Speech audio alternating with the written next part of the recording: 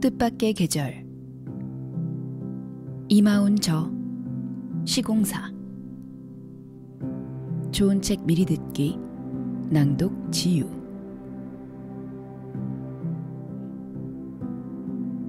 왜 사람들한테 다가가지도 않고 다가오지도 못하게 해?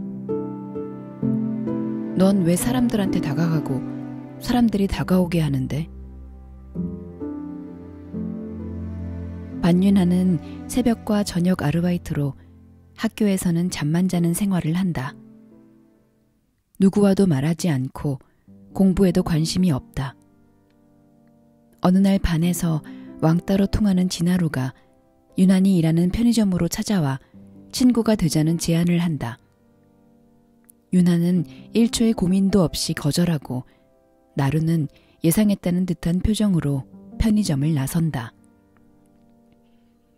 며칠 뒤 복도에서 진하루와 한 여자아이가 다투는 소리가 들리고 곧 나루를 향해 좀 꺼져라. 기생충이야? 라는 거친 말이 들려온다. 그 후 나루는 수업에도 들어오지 않고 정말로 사라져버리는데 지금까지 없던 솔직한 언어와 독특한 시선 25세 작가가 그려낸 새로운 감성의 한국 소설.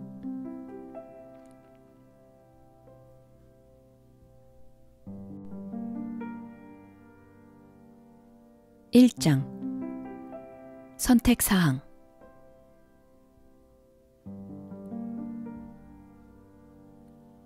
사교시가 끝날 때까지 나는 기절한 듯 잤다. 중간중간 담당 과목 선생들이 깨울 때도 있었지만 잠깐 고개를 들었다가 곧바로 다시 잤다. 그럴 때마다 주위 애들이 내 몸을 흔들었다.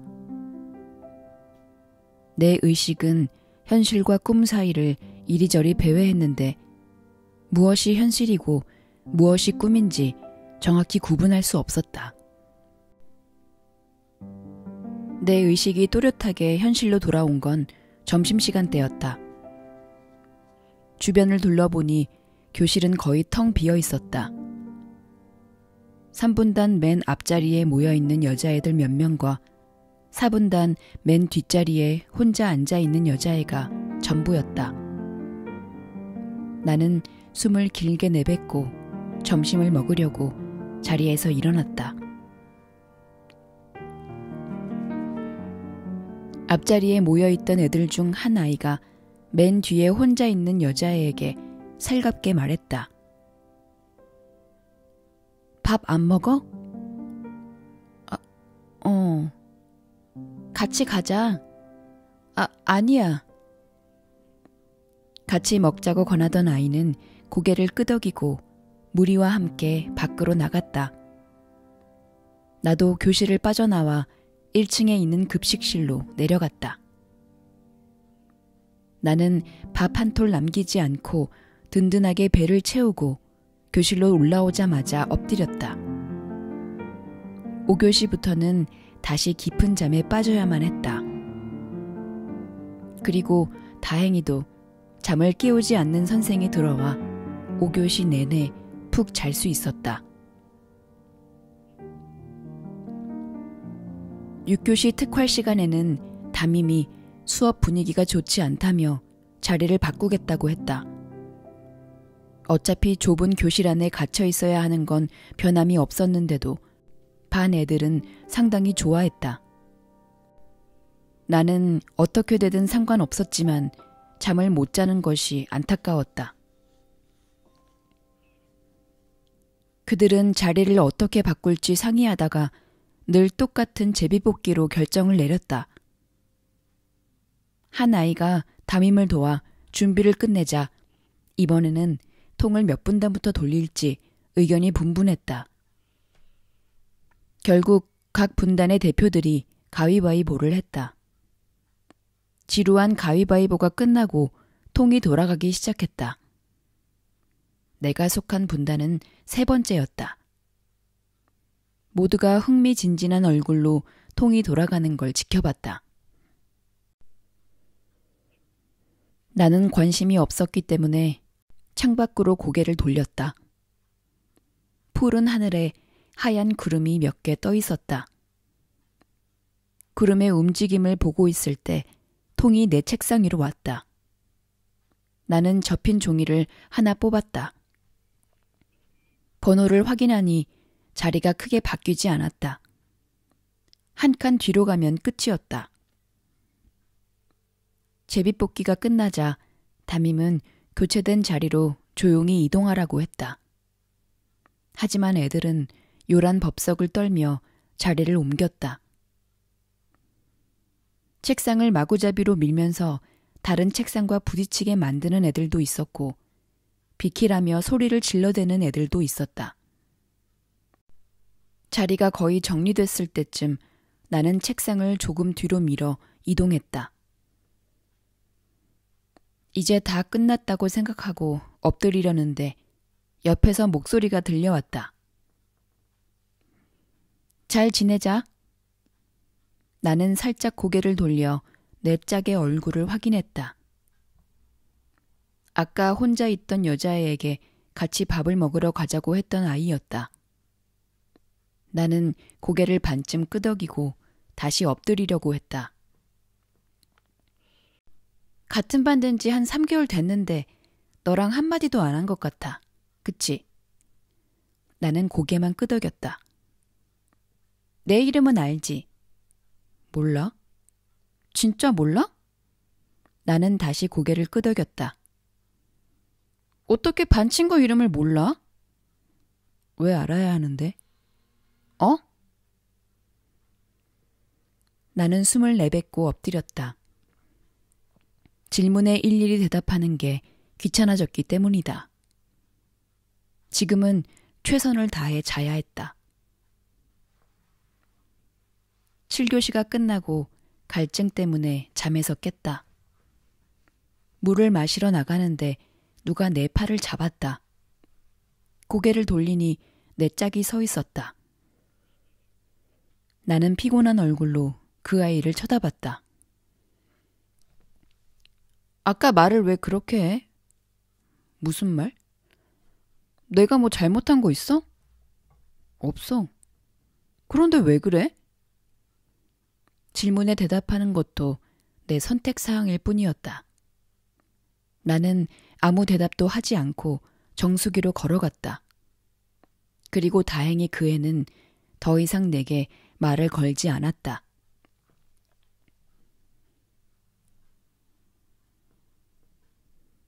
학교가 끝나면 집으로 돌아가 옷을 갈아입고 곧바로 편의점으로 아르바이트를 갔다.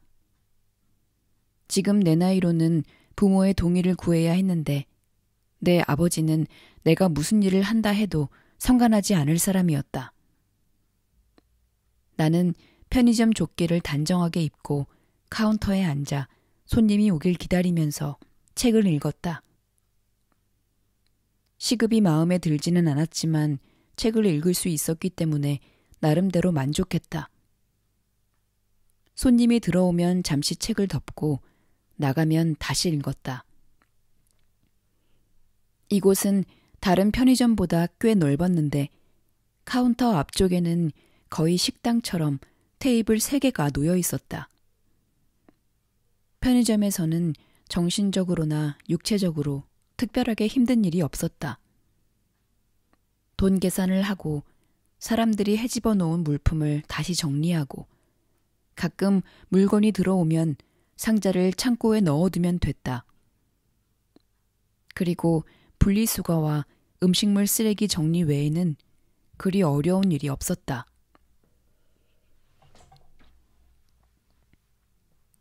두 시간 사이에 손님이 몇 명 들어왔다. 과자를 사기도 했고 컵라면을 먹기도 했고 담배를 사기도 했다. 시계는 똑딱 소리를 내며 계속 움직였고 시계의 움직임에 따라 밖이 어두워졌다. 카운터 옆이 커다란 유리창이었기 때문에 밖이 훤히 보였다. 가끔 책을 읽다가 머리가 아파지면 밖을 바라봤다. 특별한 풍경이 있진 않았다. 그저 도로와 신호등뿐이었다. 하지만 지나가는 차를 보고 있는 것만으로도 마음이 한결 편안해졌다. 문 열리는 소리가 들려 인사를 했다. 잠깐 고개를 들어 손님을 보니 나와 같은 학교의 교복이었다. 혹시나 아는 얼굴일까 싶어 얼굴을 보려고 했지만 이미 지나가 버렸다. 보고 싶지 않아도 어차피 계산할 때 봐야 했기 때문에 더 신경은 쓰지 않았다. 부스럭거리는 포장 비닐 소리가 들리면서 카운터 위에 샌드위치와 바나나 우유가 놓였다. 나는 살짝 고개를 들어 손님의 얼굴을 확인했다. 오늘 점심시간에 끝까지 교실에 혼자 남아있던 여자애였다. 말끔한 구릿빛 피부에 볼살이 조금 있었지만 통통해 보이지는 않았다. 계산을 끝내자마자 그 아이는 테이블로 걸어갔다. 날 아는지 모르는지 짐작이 되지 않았다. 하지만 문제될 건 없었다. 나는 덮었던 책을 다시 펼쳤다.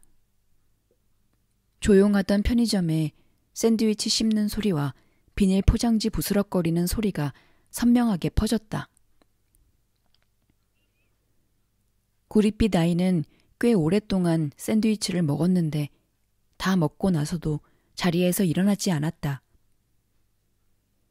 나도 저녁을 먹어야 했지만 손님이 있었기 때문에 움직일 수가 없었다. 그 아이는 의자에서 굳어버린 것처럼 창밖을 봤다. 나는 조금 더 기다리다가 빨리 갈 상황이 아니라는 걸 깨닫고 폐기물을 모아놓는 통으로 갔다. 내가 일어나자 그 아이는 잠깐 고개를 돌려 나를 봤다. 나는 신경 쓰지 않고 유통기한이 지난 삼각김밥 두 개와 컵라면 하나를 먹었다. 10분도 안 되어 음식을 다 먹고 쓰레기를 치웠다. 카운터에 다시 앉자마자 그 아이가 보였다. 아직도 같은 자리에 앉아 창밖을 보고 있었다. 뭘 하는 건지 알 수 없었지만 이 공간으로 들어온 순간부터 어떤 사람이든 내겐 손님이 되었고 그렇게 되는 순간부터 나는 그들에게 최선을 다해야 했다. 지금 내 앞에 있는 손님에게 할 수 있는 최선이란 그저 건드리지 않는 것이었다. 나는 더 이상 신경 쓰지 않기로 하고 책을 읽으며 시간을 보냈다. 퇴근할 시간이 가까워질 즈음 그 아이가 희미한 의자 소리를 내며 카운터로 다가왔다. 나는 고개를 들어 뭐가 필요하냐는 얼굴로 손님을 쳐다봤다. 같은 반이지? 나는 말없이 고개를 끄덕였다. 근데 고등학생은 편의점에서 일 못하지 않아? 공격하기 위한 질문인지 호기심을 위한 질문인지 알 수 없었지만 나는 그렇다는 식으로 고개를 끄덕였다. 저기, 내일 수행평가 같이 할래? 나는 무덤덤한 얼굴로 그 아이를 보다가 고개를 끄덕였다. 내일은 체육 수행평가가 있는 날이었다. 여자와 남자가 짝을 이뤄 손을 잡고 축구를 해야 했다. 나도 같이 할 사람이 없었기 때문에 거절할 필요는 없었다. 정말? 나는 다시 고개를 끄덕였다. 그 아이는 꽤 만족스러운 얼굴로 아무 말 없이 밖으로 나갔다. 분명 남에게 호감을 주는 얼굴이었고, 먼저 나서지 않아도 사람들이 다가올 부류의 아이였다. 그런데 왜 교실에서 혼자 있었던 걸까? 나는 편의점 창밖으로 사라져가는 그 아이를 보다가 고개를 저었다. 쓸데없는 생각이었다. 혹시나 편의점에 왔던 아이 때문에 귀찮은 일이 벌어질 수도 있었기 때문에 다음 날 나는 반으로 들어가자마자 교실 안을 훑어봤다. 하지만 아직 오지 않았는지 보이지 않았다. 자리에 앉자 내 짝이 썩 좋지 않은 얼굴로 나를 쳐다봤다. 나는 신경 쓰지 않고 엎드렸다. 엎드리자마자 평소처럼 금방 잠에 빠져들었다. 얼마만큼 잤는지 알 수 없었다. 나는 엎드린 채로 눈을 뜨고 내 몸이 의지와 상관없이 흔들리는 것을 느끼다가 고개를 들었다. 짝이 나를 깨우고 있었다. 영어 숙제 지금 반장한테 내면 돼. 반장이 누군데? 나다. 나는 가방에서 얇은 영어 공책을 꺼내 짝에게 넘겼다. 짝은 말도 안 된다는 얼굴로 나를 쳐다보다가 공책을 받았다. 일어난 김에 물을 서너 잔 마시고 복도를 걸었다. 꽤 많은 애들이 복도에서 떠들고 뛰어다니고 있었다. 수많은 소리를 들으며 모퉁이 쪽으로 도는데 갑자기 뭔가가 튀어나와 부딪혔다. 그다지 강한 충격이 아니라서 나는 그저 앞을 보았다. 바닥에 공책이 흩뿌려져 있었고 한 여자애가 넘어져 있었다. 가까이 있던 반장이 다가와 넘어진 애를 일으켜 세웠다. 넘어진 애는 내게 사과하면서 공책을 주었다. 나는 가던 길을 가려고 걸음을 뗐다. 뭐해? 같이 안 주워줘? 괜찮은지 물어보지도 않고? 반장이 나를 향해 말했다. 내가 잘못한 거야? 잘못을 떠나서 너랑 부딪혀서 넘어졌잖아. 같이 주워주지는 않아도 괜찮은지는 물어봐야 하는 거 아니야? 내가 상관할 바 아니잖아. 뭐? 넌 꼭 그런 식으로 말해야겠어? 그럼 어떤 식으로 말해야 되는데? 왜 매번 이렇게 적대적이야? 내가 너한테 뭘 잘못했는데? 네가 잘못했다고 한 적 없어. 특별하게 싫어하지도 않아. 그냥 너한테 관심이 없는 거야. 반장이 어이없다는 얼굴로 나를 쳐다보았다. 나는 한 번 더 말했다. 내 선택 사항인 거야. 누구한테 관심이 있든 없든. 당연한 게 아니라고. 나도 너 같은 애한테 관심 없어. 반장의 말에 나는 고개를 끄덕이고 교실로 걸어갔다. 사교시 체육 시간이었다. 운동장 한 바퀴를 뛰고 줄을 서자 체육 선생이 모습을 드러냈다. 선생은 전 시간에 말한 대로 짝축구를 한다고 했다. 모두가 자기 짝을 찾아 줄을 맞추기 시작했다. 나도 내 수행평가 짝을 찾으려는데 어느새 그 애가 내 옆에 와 있었다. 최대한 균형을 맞춰 세 팀이 만들어졌다. 한 팀은 이미 이겼다며 환호를 했고 내가 속한 팀은 벌써 좌절하고 있었다. 나는 B팀이었는데 먼저 A팀과 B팀이 경기를 했다. 축구공을 중앙에 두고 팀 주장은 아이들에게 각자 서 있을 포지션을 설명했다. 월드컵 경기를 연상케 할 만큼 심각해 보였다. 나는 이기든 지든 상관이 없었다. 경기가 시작되자 내 수행평가 짝이 말했다. 질 거야. 딱히 이길 거라고 생각하지는 않았지만 그렇게 생각하는 이유가 궁금해졌다. 왜? 그냥 내가 있는 팀이잖아. 뭔 소리야. 내가 있으면 져. 항상 그래. 굳이 그렇게 생각하고 싶다면 어쩔 수 없었기 때문에 나는 그저 고개를 끄덕였다. 예언이었는지 예상이었는지 운이었는지 감이었는지 모르겠지만 우리는 완전히 패했다. 아마도 이 일로 이 아이의 생각이 조금 더 견고하게 굳었을 것이다. 체육 시간이 끝나자마자 다들 교실로 올라가는 대신 급식실로 뛰어갔다. 나도 올라갔다 내려오는 것이 귀찮아 바로 급식실로 가 줄을 섰다. 수행평가 짝은 어쩐 일인지 나를 계속 따라왔다. 나는 신경 쓰지 않고 안으로 들어갔다. 오늘은 콩나물국, 포크 커틀릿, 시금치 무침, 과일 샐러드, 김치가 나왔다. 급식실 안은 반 애들 외에 사람이 없어 한산했다. 나는 입구 바로 앞에 앉았다. 같은 반 남자애들이 내 주변에 식판을 내려놓았다.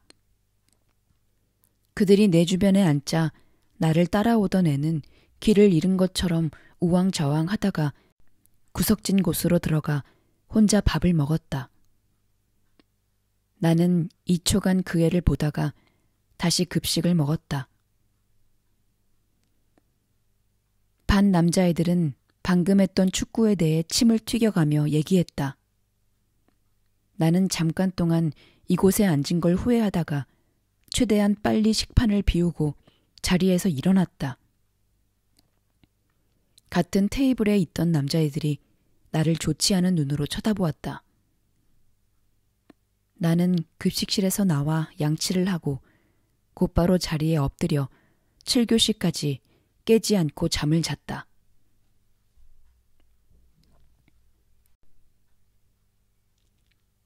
과거 중학교에 들어오고 몇 개월이 지났을 때였다. 분명 반 애들이 어느 정도 친해졌음에도 담임은 이번 시간에 조별로 조원들이 서로에 대해 질문을 한 뒤 담임이 지정한 조원 두 명이 나와 서로 소개하는 시간을 갖는다고 했다. 담임의 말에 따라 책상을 조 대형으로 옮겼다. 나는 같은 조에 있는 애들을 한번 훑어봤다. 남자 세명과 여자 두명이었는데 훑어본다고 달라질 건 없었다. 이름을 아는 애가 한 사람도 없었다. 내 이름을 아는 애도 아마 없었을 터였다. 조대형으로 자리를 바꾸자 몇 명은 약간의 불만을 표출했지만 대부분은 같은 조가 된 애들의 얼굴을 보며 서로 웃어댔다. 한 명씩 5분 정도 질문하고 남은 시간 동안 정리해서 발표할까? 얼마 전 전학을 온 여자애였다. 전학을 왔는데도 이상할 정도로 적응 속도가 빨라서 이젠 나보다 학교와 학교 애들에 대해 더 잘 알고 있는 것처럼 보였다. 조 애들은 모두 그 말에 따랐고 옆에 있던 아이가 그 말을 받았다. 그럼 너 먼저 해. 그래. 나는 잠깐 동안 질문거리를 생각해 보았다. 하지만 떠오르는 것이 없었다. 결국 나는 이 아이에게 궁금한 게 아무것도 없었다. 다행인 것은 내가 질문을 하지 않아도 이 아이에게 질문을 하고 싶어 하는 애들은 많다는 거였다. 한 남자애가 하라니까 한다는 얼굴로 먼저 질문을 던졌다. 취미가 뭐야? 책 읽는 거 좋아해. 그 대답에는 더 궁금한 게 없는지 바로 다른 질문으로 넘어갔다. 처음엔 마지 못한 것처럼 질문하던 남자애들이 이젠 경쟁적으로 질문을 하기 시작했다. 질문의 종류는 성격, 꿈, 특기, 좋아하는 과목, 혈액형 등이었다. 전하고 나이는 그 모든 질문에 똑바로 대답했지만 이전 학교에 대한 질문이 나오자 얼버무리며 넘어갔다. 나에게는 굉장히 따분한 시간이었다. 빨리 5분이 지나고 또다시 5분이 지나 이 시간이 완전히 끝나길 기다렸다. 그 아이 차례가 끝나자 쏟아지던 질문들이 눈에 띄게 줄었고 그나마 나온 질문들도 전과 비슷했다. 꿈이 뭐냐는 질문에 한 남자애는 그렇게 대답하면 멋있어 보이기라도 한다는 듯이 아직 없어 라고 말했다. 나는 반복되는 레포토리가 지겨워 듣는 둥 마는 둥 하고 있었다. 그리고 내 차례가 됐다. 누구 하나 질문을 꺼내지 않아 잠깐 동안 정적이 왔다. 남자애들은 날 공격적으로 쳐다보거나 옆 사람과 떠들었다. 잠시 후 꿈이 없다고 자신있게 말하던 남자애가 말했다. 괜히 아무것도 안 물어보면 혼나니까 몇 개라도 적어 놓자. 취미가 뭐야? 없어. 네가 그렇지라는 눈으로 그 남자애가 나를 쳐다봤다. 더는 질문이 나오지 않아 내 순서가 끝났다고 생각하고 엎드리려는데 전학 온 여자애가 물었다. 너도 책 읽는 거 좋아하지? 나는 고개를 끄덕였다. 뭐 좋아해? 전에 보니까 소설책 읽고 있던데. 아무거나. 근데 왜 넌 아무한테도 질문 안 해? 우리한테 궁금한 거 없어? 모두가 조용하게 나를 쳐다봤다. 나는 그 아이의 얼굴을 보다가 말했다. 없어. 아무것도. 저러니까 친구가 없지. 한 남자애가 다 들리도록 중얼거렸다. 나는 아무 대답도 하지 않았다. 내 나름의 방식이었다. 더 이상 귀찮아지고 싶지 않았고, 귀찮아지지 않으려면 울타리를 쳐야 했다. 내가 칠 수 있는 울타리란 이런 것이었다. 말할 필요가 없을 때는 아무 말도 하지 않고 말해야만 하는 상황이라면 그 대화가 가장 빠르게 끝날 말을 선택하는 것이다. 시간이 되자 담임이 시계를 한번 보고 말했다. 시간 충분하니까 거의 다 시킬 거야. 준비 다 했지? 반 애들은 자신 있다는 듯이 크게 대답했다. 담임은 1조부터 두 명을 지정해서 소개를 시켰다. 남자 아이와 여자 아이였는데 둘은 민망하다는 얼굴로 서로를 보다가 소개를 시작했다. 이곳에서 나왔던 질문과 비슷했다. 1조가 끝나고 조금씩 내가 속해 있는 조 차례가 가까워졌다. 이상하게도 나는 절대로 걸리지 않을 거라는 확신이 있었다. 하지만 그 확신은 정말로 하찮았다. 담임은 내가 있는 조를 쳐다보다가 전학 온 여자애와 나를 지목했다. 나는 고개를 숙이고 한숨을 내뱉었다. 내가 자리에서 일어나자 반 애들이 그 여자애를 안타까운 눈으로 보기 시작했다. 유난히 먼저 해. 담임의 말에 나는 아무 대답도 하지 않았다. 아는 것이 아무것도 없었다. 유나나, 발표하라고.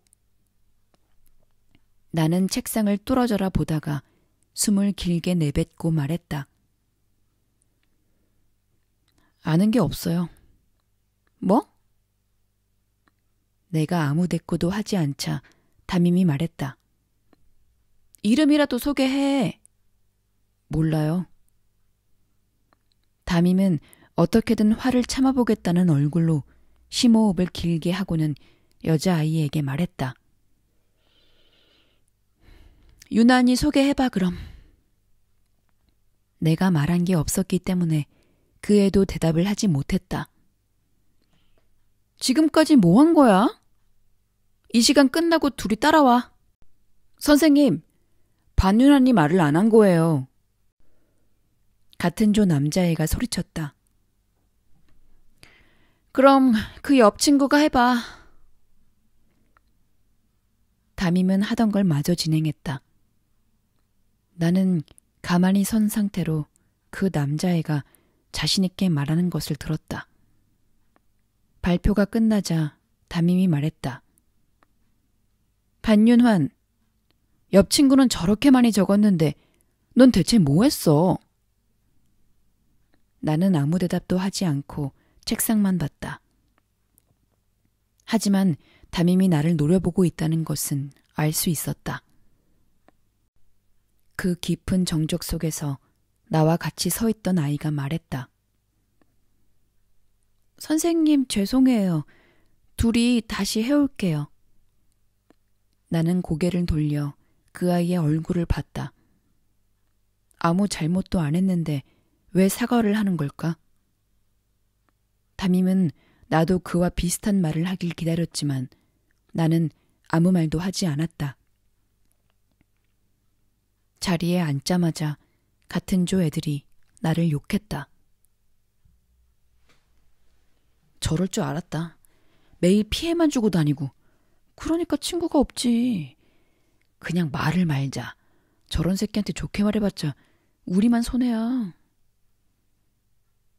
나는 내게 벌어진 상황이 끝났다고 생각하고 자리에 엎드렸다.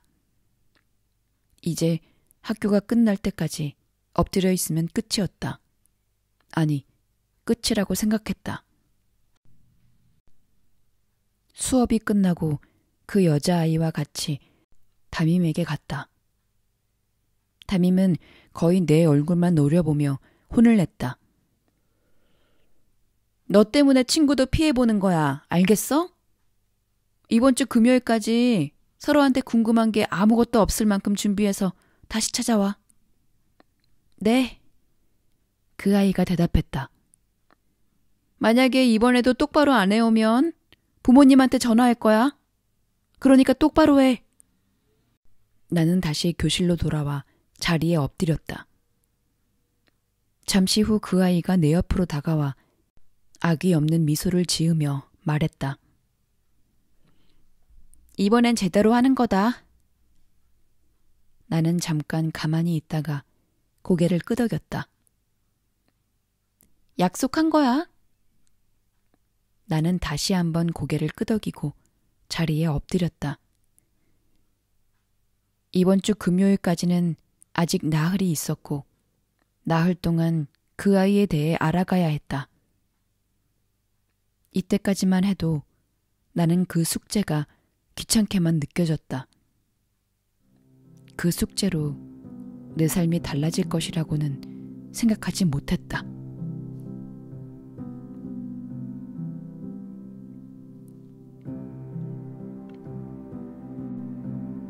관계에 대한 독특한 시선과 뜻밖의 위로. 25세 작가가 그려낸 새로운 감성의 한국 소설.